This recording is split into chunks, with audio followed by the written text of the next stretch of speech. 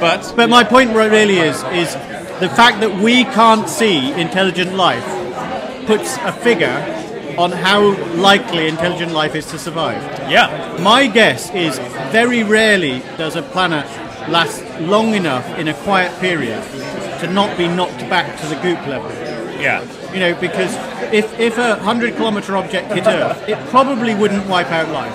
It, it it- would certainly send it back to the. But it, we'd go back to the goop level. Yes. And unless we, I mean, it, there might be a few people who last a generation. Or so I, I, I know. I think 100 kilometer, it would literally, it would be people in the space station. They would run out of supplies. You know, that would, yeah, Yeah. So it, it, it pretty sobering. it's bad, and yeah, yeah. But and, and the point is, there are lots of thousand kilometer bodies. You know. th- this is- well, there's only one that's Ceres, which uh, has the mysterious white spot on it. Okay, you what- are right. Yeah, can I just say, uh, let, let's just. What do you think that white spot in Ceres is? Have you thought about it? I think it's incredible. okay, do you don't have a, an idea of what it might be? I think there there are lots of. I think the most likely explanation is slightly quite dull. I'm Sirius sure it is will be. very very high in ice. We know that. it's far enough out that Yeah. it has it's very likely. It could be a relatively recent meteorite impact that has melted and then reformed the ice, which is quite white to the because when you melt things, there tends to be a sorting chemical sorting. So I think that's sadly the most likely, but the most dull. Yeah, I know. Well, so I, I actually am in that camp. It is right in the middle of a, an impact crater. Yeah. And if it's a very young crater, it could be that it's either exposed something or uh, has remelted. It could be a heavy iron meteor or something, but we have it in the middle of a crater. It's something like that. But it's not quite central; it's offset. Well, there's two. There's two pods. And there's two one that's in the middle, and there's another one. And the other one, yeah, that's a little more interesting. Well, not necessarily, because quite often bodies um, they bounce. If you look, um, at- that- if you that- look at the impacts on uh, on Jupiter, We've seen some that bounced actually. No, we've seen ones on Earth Yeah. where we've seen no, no, no, they bounced. Actually, that's not true. Okay, forget this. We've seen it where uh, objects have broken up in the atmosphere and they've, they've created two impact or three Yeah. or four impact craters. And Jupiter was a great example because the thing got tidally disrupted. Is Shoemaker Levy Nine? that's right. Yeah, and that that was an amazing event. So just to explain what happened there is the object doesn't necessarily come straight in. It can quite often come in in a curved path. That the gravitational force of Jupiter broke the thing apart because an awful lot of asteroids are, and comets are not very strongly bound. They're not unlike cigarette ash. You know, they're Yeah, separated ci- out. cigarette ash is what I heard. Yeah. And so that can also happen. So that might also happen with Ceres. I I think, yeah, possibly. That I I mean, they seem rather close together for that, but we will find out. That I just wanted to take this aside because maybe he's right. Well- maybe he's wrong. It would be awesome if you're right. It's a guess, It's a guess. and that's great. It's And- great. but it might be. It, it could be something else that is unexplained. I mean, Yeah. what I found really exciting when, um, because during my time at university, the, the Voy- wonderful Voyager probes. Oh man, Well, that was amazing, but I was even- like ten years old. I was loving, you know, yeah. We were But- all loving that. But the, the, you're right. Uh, during the earlier part, I was as well. But the, I'm, I'm 51 now, by the way. I'm 42. You know, Yeah, it's not so- that far. But there was when they when it arrived at Triton and we saw the geysers and all that sort of thing, as far out as Neptune. That was at firstly it was. Cryovolcanism was just such a revelation. But the fact is, it was expected to be a relatively quiescent dust storm. Right. And so I I thought firstly it was fascinating. Secondly, it wasn't what we expected. So I'm I know it sounds stupid, but I'm expecting something we don't expect. Yes, um, and that, and that is actually the best way to be a scientist, right? Is to expect the unexpected. But it's still it's perfectly fine to have theories to explain things. Yeah. Because even when we get better pictures, as as because I think the probe's going to go in orbit. Is it? Today It's going to go into it's it's getting very soon. I haven't. Yeah, it's very, very soon. We are all very excited. But anyway, the point is, we will get much better information. But I'll have a private bet that it still doesn't explain it. It'll take a while to actually Yeah. really get to the bottom of it, for sure. And it may well be that we need to see the um, the reflected light, looking at the characteristics, see if there are any obvious absorption lines. Yep. Try and see chemically what it is. It may well be water ice. Yeah, we might have to send another mission to actually take a sample of this thing. Maybe it'll be the white spot for a long time. Yeah, that is quite possible. And, but it's it's interesting because it shows science is quite important as well because it could be some other thing that we don't expect. It could even be a volcano, which I think is very unlikely. By the way, I, I very I, cryovolcanism. there's nothing to drive it. There's nothing to drive it. I mean, unless it's a well, but impact crater, recent impacts, maybe. Well, one of the things that um, I thought was quite interesting is looking at the changing the subject again slightly. Okay, that's okay because we love this, right? I love the idea. This guy is awesome, right? I gotta say, right? That's very, very We kind. haven't even talked about machine code yet, right? I love the idea that we can terraform Mars. I do as well. I, I, So I looked at quite brutal ways of doing it, um, and trying to. And this is where my knowledge of the physics and the material science of the Mars. Firstly, we don't really know what the distribution is, but taking a very, very large chunk of ice, yes. attaching a rocket motor to it, Well, actually, all you need, yeah, you, you could use a, a motor that actually just melts the ice and uses that as reaction mass. Yes, you, you can. Well, exactly. You, you dig a hole and you Yep. get the steam as your reaction Yeah, mass. It brilliant. can take years. It doesn't matter. But if you were to drop it on one of the poles of Mars, it would, as it approached Mars, it would pick up at quite a speed anyway, Yeah. And so a huge amount of energy would be dumped onto Mars, and it would, for quite a long period of time, it would be at a very high temperature. And I'm talking about half a million years Yes. it would be above the melting point of water. So what it would do for an area of many tens, if not hundreds of square miles, it would stop CO2 condensing. Uh, right. Yeah. And so it would put CO2 into the atmosphere. That CO2 would have quite a profound greenhouse effect, Yeah. gradually over tens of years, raising the temperature of Mars as a first step to terraforming. Yeah.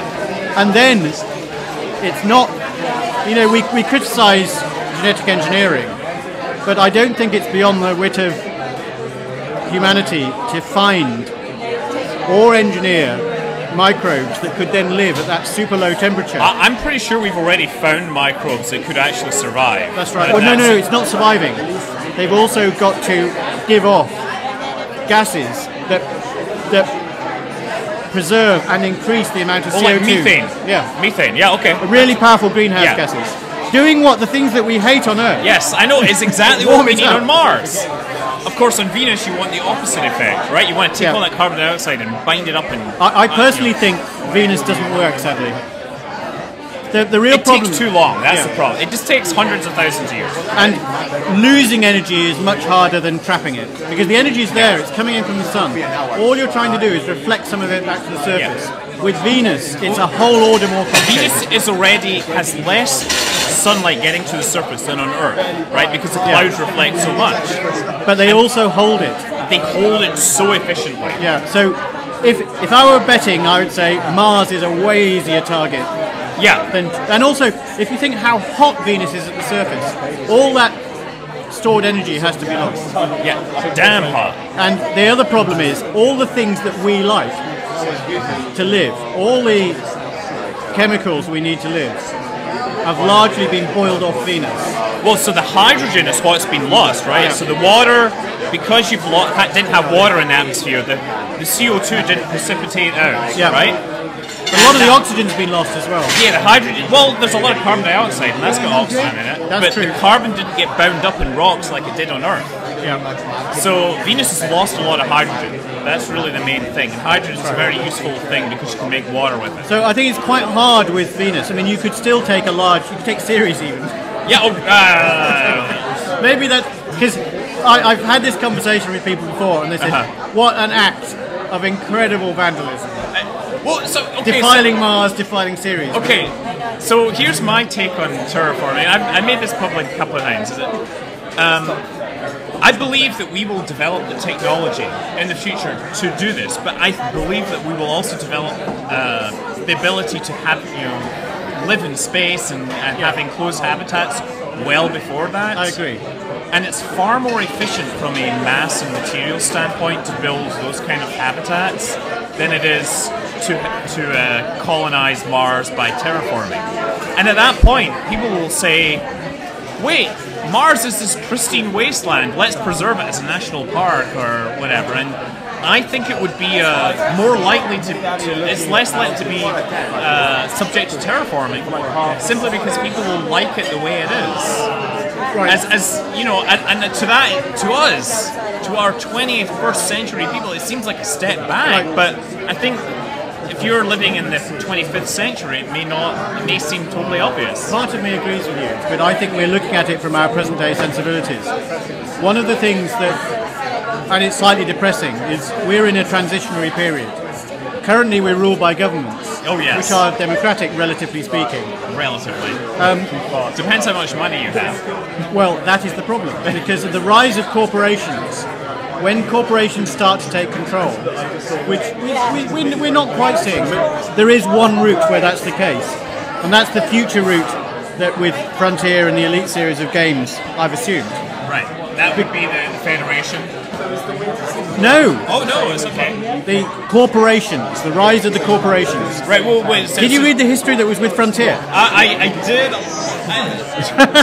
I can test you on But it. 10 years ago? 20, No, I 20 years ago? Oh my god. So, I'm terrible. the, what that postulates is sadly there will be a world war and it's i mean i think that it i'm trying to remember frontier showed the history as this decade because don't forget this was written in 1990. Yes, 1990 of course. It was always a future. is the decade of religious a- strife but back in 1984, Khan was was ruling the world, right? Before we sent him off in the Botany Bay. I mean, know, future history. 2001, 2010. Yeah, they're history now. anyway the, the, the, the point is something's got to happen the current trajectory we're on to change what we are and it, it's got to be some quite major event it might be and what would be great is if it's done by consensus it's just the cynic in me thinks it won't be Uh, yeah. Anyway, that you're right, it, but it, I think if corporations are in control, if you can terraform Mars relatively cheaply, It would happen. it would happen. Okay. Even if governments were against it. I can totally buy that. Totally. But then, you know, then again, I do like Total Recall with the whole charging for oxygen. But I think what would happen is you would have domes preserving parts of Mars' surface. Oh, wait, wait, like The other way around. the other way. Oh, that might. Oh, that's a good idea, So the, actually. the national park would be inside a dome, Maybe like super low pressure. Yeah. Okay. and because what This is why this guy writes games because he has the imagination, right? No, it, well, you're, you again, you're being very kind. Because uh, one of the things that is interesting about the almost all of the rest of the solar system is it's been preserved for a very long period of time. Yeah. So if there is anything out there, or was anything out there in terms of alien interest, there might be something out there, Yeah. and it would have been preserved because it could have happened anything, any time in the last few billion years, Wow. and it will still be up there. Yeah. So it's not impossible. We might find things on Mars that surprise us. Well, Buried, um, buried in the dust. As a scientist, I always want to find things that surprise me. Yeah. And- But I think, you know, this Ceres is going to surprise us. I really hope it will. I hope, ironically, it won't be what I'm saying, that it's Oh, just. you're hoping it's not a la- uh, an alien with a laser pointer shining it. Well, that'd be great. That would be great, but it could be. It would the change implications things. would be very yes, it would change things, right? But I think most likely it's a patch of ice or something like that. that a, a crater is either exposed or created because it's melted and then it's Yeah. recooled. Um, Because anything white is very unlikely to survive in space. Because it will, it will heat, it, you know, the, it will reflect. But more importantly, the radiation, um, if it's, if it will tend to darken things. yes, yeah. yes. Because a lot of carbon compounds like CO2 get dissociated by cosmic rays Yeah. and things like that, and tend to end. You tend to end up with molecular carbon on the surface. Yeah, and people don't realize just how dark comets are. Like when you when you uh, make cameras, you get a special kind of paint for the interior that's like very very black. many cometary surfaces are as black as that because of the very fine carbon compounds on the surface. Even comets, active comets like Halley, I remember Yeah, they're just- there's, they're blacker than anthracite coal. That Yes, was the figure I it- heard. it- it's This is insane. a, it is. And you just think, well, that's pretty damn black. Yes! Uh, how much more black could it be? Yeah. None more black. But the idea is, and you can sort of see it, if you ever made a snowman, Yeah. it starts off beautiful and white, you know, with the carrot and all Yeah. that. Three days later, it's gone actually quite All, dark. all the dirt is what's left. That's right. And the dirt gets preserved, whereas what happens is the ice gets essentially burnt But on off. top of that, any complex carbon compounds are getting subject to cosmic rays, and That's then right, they get yeah. broken up and you get molecular carbon, right? Yeah, so it's actually worse in space than your Yes. Your, a snowman. Yeah. But the, the great thing, um, the great thing with that though is it's understanding it. It most likely ends up with quite a hard crust Yeah. around it because of this, almost like a baked Alaska. Yeah. Have you seen the, the pictures of, of uh, the Rosetta probe? I pictures? have. They're amazing. They're stunning. Can you can you say the name of the comet? Something with Gerasimirov. It's 67 Cherov- Chermirov Gerasimenko. That's the one. Something Yes. like that. I've had so many so much practice at saying that by now, Well, it, it's. I think that's an amazing thing to have done. It's a real shame. and it's European as well. That's right. It's a real shame that Philae, or I, I still don't know how to say that properly. It will it will be back. It will be back. I really hope it will Yes. be because, um, although looking at the pictures, I think there are a few locations it could be in which aren't very good because they're quite deep, Uh, yeah. and it's almost certainly on its side from the picture it took before Yes. it shut down. Yeah. And so, what, what I'm hoping is it will be just long enough for it to wake up. Yeah, I, fingers I, crossed. I wanted, I wanted to give us more information. It was so brave, like letting itself go and landing in that scary environment. Well, the fact that it bounced such a big yes, But I think that's interesting that you know, contrasting that environment, and it does look like the Comet 67 Yeah. is um, is relatively pristine because you can see there are features um, that are a relatively constant size that matches a lot of the theories about planetesimals. Yeah. and how that when a solar system is forming, there are these sort of snowflake-like objects that stick together because they're the gravity between them is exceedingly low, but also they're very soft, yes. like cigarette Cigarette, yeah. and they gradually coalesce, and that possibly, and then they gradually come together. That's possibly what's happening. Right. Yeah, well, I mean, comets, the comets form out where uh, they, they haven't had the ability to. They collect into comets, but they're so far out they don't collect into larger objects, Yeah. right? And there's this Just, just changing the subject slightly again. Whoever's still listening, well done. Oh you no! clearly wait, care about I think astronomy. this will have to be in two parts by now, right? I, I, you know, this is going to go viral. By the way, you're you're going to be all over the. the mind boggles. What rubbish have I been talking? It's the beer, you know. It's the beer. He, he's got Corona. I have Pliny. Uh, Wow. Pliny the Elder. By the way, Pliny the Elder is eight percent. So Scott is doing I- really well Scottish. here. Yes. Wow, we've been going a long time as well. This Yeah. is like 40 minutes. This guy. Yeah, But, uh, and actually, it's probably a good time for us to finish this up. Then, it is. before Well, we it's, a, it's, a, it's a great track. We've, We've talked. This, this guy is awesome. I love him. And, and as I said, like, and we've hardly talked about games. We haven't talked about games at all. Okay, I, I gotta say, right? I've been doing this for everyone else. Okay, Yeah. so, so David Braben, like I've been asking everyone else, what you're doing here? You're here to promote Elite, Yeah. and it's you know won the award, so you've succeeded there. And we won the Audience Award, which I'm Right. really grateful and very, very proud of. Right. Okay. Think about this. What is the coolest thing you've seen that you haven't worked on at GDC? Um, I loved some of the indie games actually. They, they were quite very, very pretty. Yes. There was one, and I'm I can't remember its name. Okay. But it, the rendering style was so lovely, and it was quite sinister. I loved that. It was um, it was during the awards, and they sillily they gave the name and then they showed the pictures, and I I, I apologise. Oh man, we, we're gonna have to find out which one. it Yeah, but I, I did like um, some of the others as well. There's um, the one that looks like Escher. Okay, MC Escher. Uh, was it uh, Monument Valley? Monument Valley, yeah. Yes, Monument was- well deserved award. That looked quite interesting. Yeah. Yes, it's great. totally worth playing on your phone when you're commuting if you're if you don't drive. And also, you know, I I didn't see it at GDC, but I played it recently. Alien Isolation is a lovely game. Oh, I love that, and I love playing the old one. Alien is one of my. Oh, I know. It's a fear, and I haven't played it. I haven't had enough time to play it very much, so I don't know how it unfolds. But the first bit is really Yeah, sinister. I, I, I'll, I'll admit, I got that game, and I only got there's the DLC, which is just the Nostromo from the original Alien, Oh wow! right? And there's two missions in that, and that's all I've really had time to play. Oh, excellent. Oh, it is so good, and the audio, the audio is great. I, I kept on dying early on because I had my headphones back to front. Well, we. I'm very lucky. We have a 7.1 setup, Oh, and it's, wow. it's brilliant. It Oh. works very well. It's Yes. really frightening. But Alien is one of only two movies that ever scared me.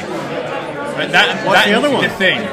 oh yes! Oh yes! Yes. I like that as well. You're- oh wow, this the, the whole scene with the blood and the, the whole Yeah. thing. You're like, which one is it? It's so tense. Um, but it's okay. So, and, and the final question I was going to ask is uh, San Francisco. What's awesome about it?